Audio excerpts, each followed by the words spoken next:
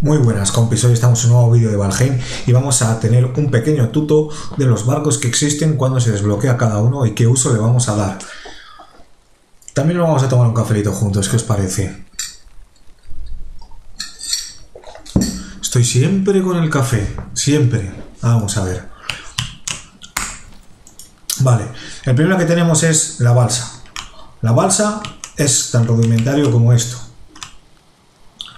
De hecho, no sé si la vamos a poder ni tan siquiera... Vale, así sí. La balsa simplemente sirve para cruzar pequeñas eh, masas de agua. ¿Por qué? Os lo voy a explicar muy sencillo. Esto apenas tiene... Eh, se puede manejar, esto apenas gira hacia los lados, ¿vale? Es una puta castaña. Y como podéis ver, pues en realidad tampoco mueve mucho. Ahora mismo tenemos el viento en contra. Un segundito. Eh, vale. Lo voy a poner aquí. Perfecto. Ahora sí lo veis, ¿no? ¿Veis ahí el mapa que os digo?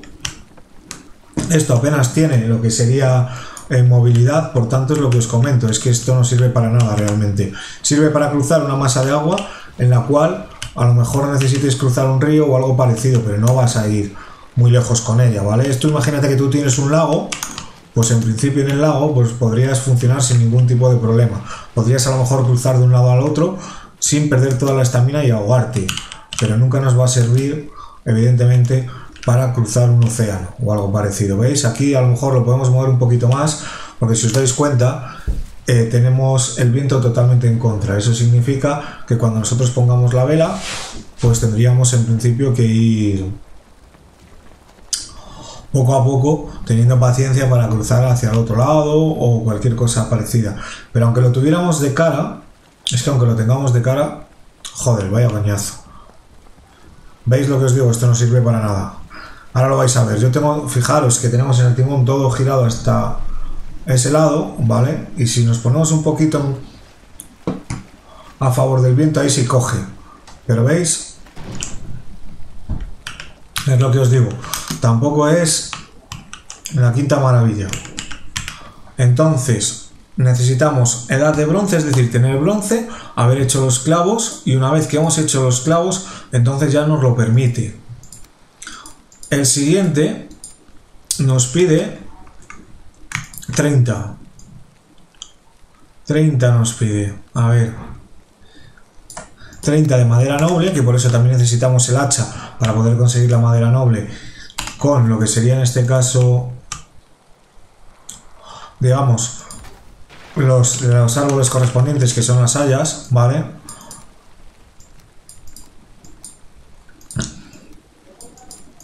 Y este, como veis, es mucho más pequeño. Es mucho más manejable, ¿vale? Y ahora lo veréis. Fijaros, nada más que ya lo pones, como puedes ver, empieza a manejar. Es decir, la balsa, si os dais cuenta, ni siquiera somos capaces de girarla. Y sin embargo, aquí, si tenemos girado lo que es el, el timón, sí que nos va girando sin ningún tipo de problema. ¿Veis?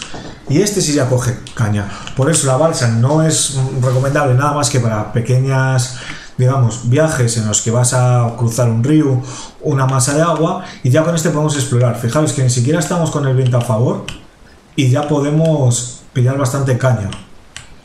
Si lo ponemos además a favor, mirar cómo gira, ¿vale? Y cómo va corriendo. Ya si luego lo pones en contra ya es un poco más difícil. Pero bueno, es lo que os digo. ¿Veis? Este tipo de barco es el más recomendable para poder eh, explorar lo que es una zona. Yo llevo buscando el comerciante bastante tiempo y siempre pillo este barco que es ligero y rápido se maniobra bien y es con el que, por ejemplo, he podido llegar aquí sin ningún tipo de problema. Vale. Vamos a llevarlo hasta allí. El manejo es muy sencillo. Si os dais cuenta, cuando nosotros tenemos el barco, digamos, colocado correctamente, a favor, pues en el círculo, ¿veis? Ahora estamos con el viento en contra. Ahí estaríamos con el viento totalmente en contra. Y sin embargo, si queremos poner el viento a favor, pues simplemente vamos girando hasta que entre en el radio de acción, en el lateral derecho. Aquí, fijaros, esto es a lo que me estoy refiriendo, ¿vale? Cuando nosotros lo tenemos en blanco, significa que estamos a favor del, del viento. Y cuando no lo tenemos en blanco, espérate, porque ahora ha cogido caña otra vez. Cuando no lo tenemos en blanco, a ver si lo puedo... Que se pone en grisáceo, es cuando no tenemos el viento a favor. Ahí, ¿no lo veis? Empieza a frenar un poquito y ya el barco no va tan rápido. Este es el segundo barco, ¿vale? El que podemos desbloquear cuando conseguimos bronce.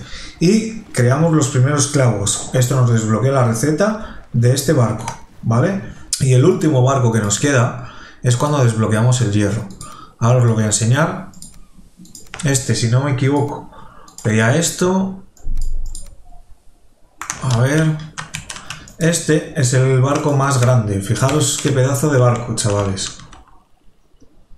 A ver si lo puedo colocar, porque claro.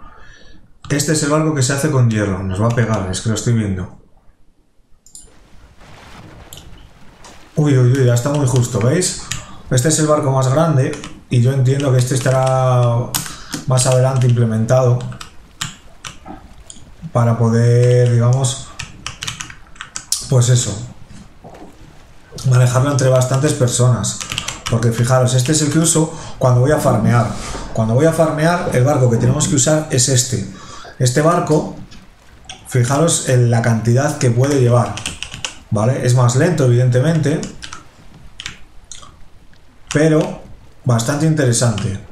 Porque cuando necesitamos farmear, que es lo que yo usaba, imaginaos que tenemos que ir aquí. Si os recordáis, en los portales yo os explicaba que con este es imposible prácticamente el poder, digamos, pasar a través de un portal con esos materiales, entonces lo que hacemos por norma general, pues es coger un barco como este, echarnos a la mar y ir a la zona donde tenemos esas vetas de, por ejemplo, de nieve o de plata o cuando necesitamos cobre porque luego llega un momento las, las vetas de metal por ejemplo no respawnan. Entonces eso significa que eh, una vez que agotas por ejemplo en el bosque negro que lo tengo yo aquí muy cerca todo ya no vas a poder conseguir ahí más estaño por ejemplo o, más cobre para hacer bronce.